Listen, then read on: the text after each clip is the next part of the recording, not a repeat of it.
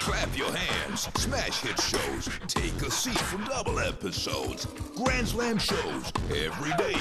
Mix them up. Watch them play. 30 love. love.